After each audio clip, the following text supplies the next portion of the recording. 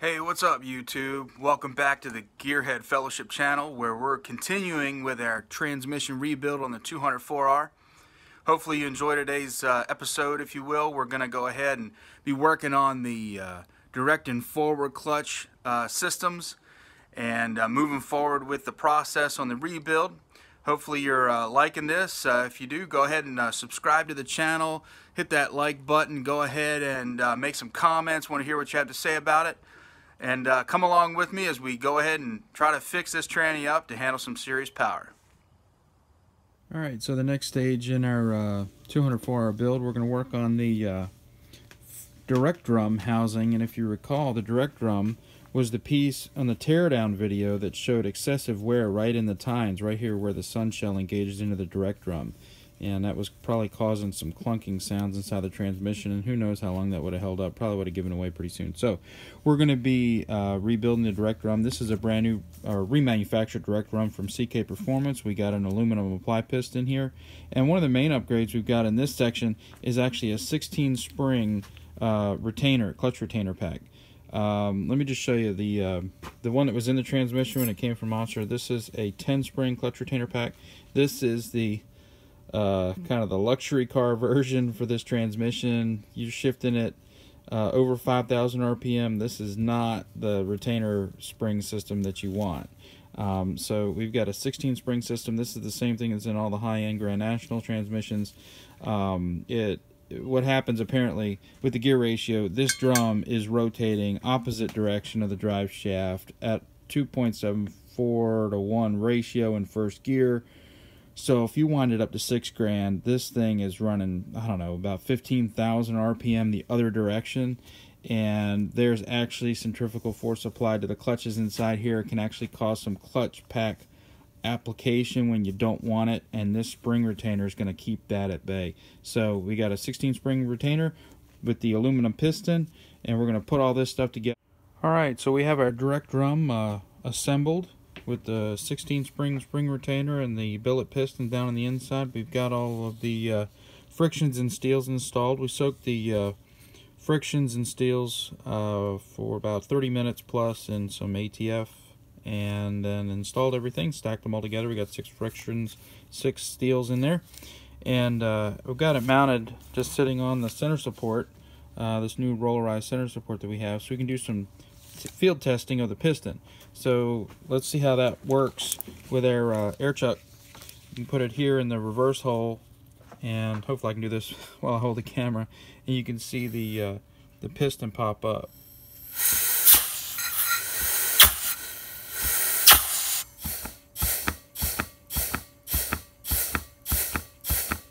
Piston seems to be working well and uh, we've mic'd off our uh, checked our clearances on our clutch pack here. It should be anywhere from 30 thousandths to 65 thousandths and we're making it just a little bit more than 30 thousandths so we got a pretty tight clearance there but we are within spec.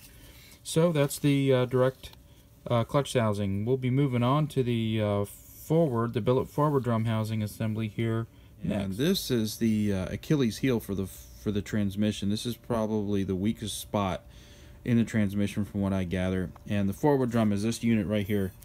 Alright, this is the old forward drum that came out of the car, and this is the new forward drum we're putting in. And again, this didn't show signs of failure, but I want to point out for the one uh, transmission component that uh, Monster Transmission had, this is the forward drum. This is actually a hardened forward drum. You can see how it has kind of a black appearance to it. That's from the hardening process. Um, but that's really all that's been done to this drum. This is a factory style drum that's been hardened. Uh, the new drum that we're going in with the car is the billet forward drum from CK Performance and it's kind of hard to tell a difference especially in this angle uh, but this uh, shaft right here is uh, E4340 I believe uh, billet steel it's welded you can see a heavy weld down inside uh, the drum seat assembly where this is just uh, machined in and, and like pressed together um, and so this unit has been proof tested to more than 1,000 foot-pounds of torque. Uh, the hardened systems are typically good for maybe about 500 foot-pounds of torque, and that's about it. So this was the main upgrade uh, for the Super Sport transmission from Monster Transmission that I had, uh, along with double feeding the the uh, direct drum, uh, direct clutch. But uh, the these are the big differences. So we're going to get ready to put this together. Uh, some other things that we got going on. Here was the original factory stamped steel piston uh, that was in the hardened drum from uh, Monster. And here we're going with the CK Performance drum with a billet piston. It's going to have greater apply, more uniform apply pressure. Uh, probably one of the other big uh, components, and this is something that Chris talks about in the build manual, is the, the sealing rings for the forward drum. Now you can see the sealing rings right up here these two bands, these two kind of orange bands. You'll only see one here on the on the hardened. That's because I took it off just to show you. So this is the band that was on there. It's a it's a standard stock style sealing ring that's known as what it's known as scarf cut. You can see it, it you kind of split it open and it makes it real easy to install. It'll just slide right down on there and into position. This is a solid Teflon ring that CK provides in their rebuild kits that they suggest putting on there. And the reason is this is a spot for that's prone to leakage uh, of oil. And if you use the factory style uh, scarf cut rings you're gonna leak. So then you got bleeding pressure and you're not going to be able to maximize the uh, performance from your pump uh, and you might be not applying equal pressure on your clutch pack so on and so forth. So we're gonna go ahead and, and assemble this up and then put new frictions and steels in the in the unit check the clearances and do the air pressure check on the billet forward drum. So folks, uh, this uh, video is taking a little bit longer than we originally expected because we ran into some clearance issues as I was setting up the uh, forward clutch system. So we've got our, our billet forward uh, drum system with the new piston, the 16 uh, uh, spring release. I'm sorry, that's on the on the, the direct drum. But at any rate, when you put all this together, I had brand a brand new uh, drum, brand new piston, brand new frictions, brand new steels, all brand new parts. Everything is as thick as it could be. And one of the problems that I ran into was all this gets packaged up into that, and then it gets this backing plate put in, and that backing plate is close to a quarter of an inch. It measures in at about 240 thousandths on the mic, and that's the thickest backing plate that they make for the forward uh, clutch system. Uh, as it turns out, looking at the uh, at the uh, CK manual, there's like five different plate thicknesses, and you can see this one's number four. I was down there at about 242,000 so that's the, the number four. The problem is when you start off with a brand new system, brand new frictions, brand new steels, a, a custom billet, piston, everything's thicker. So actually, when I packaged everything together, went to put this in, I couldn't even get it in with the snap ring. And it not only does this need to go in with all the frictions and steels, but then it needs to have 20 to 30 thousandths clearance to to engage and release.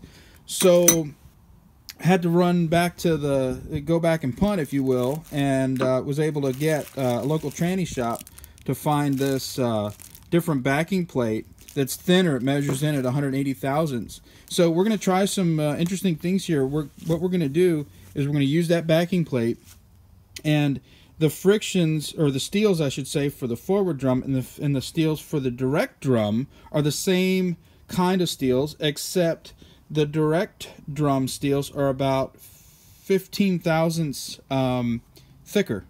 So what I'm actually going to do is put in the new backing plate new frictions the steels in here and I might swap two of the forward steels out for two of the direct steels and make up the 30,000s and then have my 30 thousandths of play.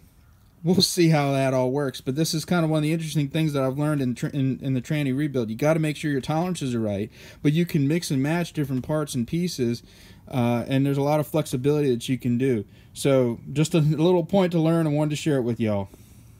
And now we'll just air check that system mounted up on the center support. All new seals in it, so we'll go ahead and put some air to it, and hopefully you'll be able to see the piston pop up.